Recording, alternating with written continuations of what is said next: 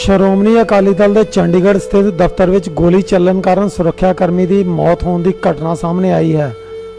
ਘਟਨਾ ਦੇ ਤੁਰੰਤ ਬਾਅਦ ਕਾਂਸਟੇਬਲ ਬਲਕਾਰ ਸਿੰਘ ਨੂੰ ਪੀਜੀਆਈ ਚੰਡੀਗੜ੍ਹ ਲਿਜਾਇਆ ਗਿਆ, ਪਰ ਉਸ ਨੂੰ ਬਚਾਇਆ ਨਾ ਜਾ ਸਕਿਆ ਅਤੇ ਇਲਾਜ ਦੌਰਾਨ ਉਸ ਦੀ ਮੌਤ ਹੋ ਗਈ।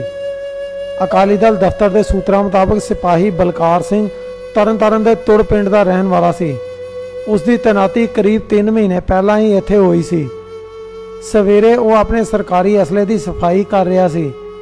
ਇਸ ਦੌਰਾਨ ਕਾਰਬਾਈਨ ਤੋਂ ਗੋਲੀ ਚੱਲ ਗਈ, ਜੋ ਉਸ ਦੇ ਪੇਟ ਵਿੱਚ ਲੱਗੀ। ਫਿਲਹਾਲ ਪੁਲਿਸ ਮਾਮਲੇ ਦੀ ਜਾਂਚ ਕਰ ਰਹੀ ਹੈ।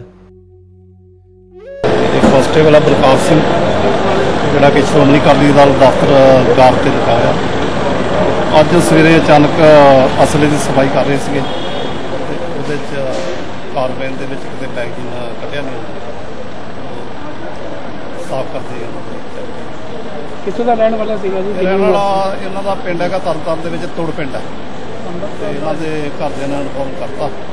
ਉਹ ਤਾਂ ਚਲੇ ਹੋਏ ਹੈ ਬੱਚੇ ਉਹਦੇ ਨਾਲ ਆਉਂਦੇ ਆ। ਜਾਂਦੇ ਤੇ ਇਹਨਾਂ ਦੀ ਕਾਰਵਾਈ ਕਰਾ ਕੇ ਜਗਦੋਈ ਤੇ ਕਿੰਨੀ ਦੇਰ ਤੋਂ ਇੱਥੇ ਤੈਨਾਤ ਸੀਗਾ? ਇਹ ਤੈਨਾਤ ਦੋ ਤਿੰਨ ਮਹੀਨੇ ਤੋਂ ਇੱਥੇ ਪੋਸਟਰ ਸੀ। ਤੋਂ ਪਹਿਲਾਂ ਅਲੱਗ-ਅਲੱਗ ਜਗ੍ਹਾ ਤੇ ਸਾਡੀ ਸਪੋਰਟ ਵੀ ਹੈਗੀ ਸਾਰੇ ਚੰਡੀਗੜ੍ਹ ਚੇਂਜ ਹੁੰਦੀ ਰਹਿੰਦੀ ਹੈ। ਭਵਨ ਲੱਗੇ ਆ। ਠੀਕ।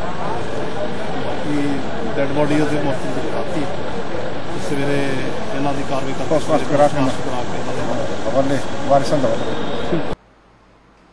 Bureau report Punjab today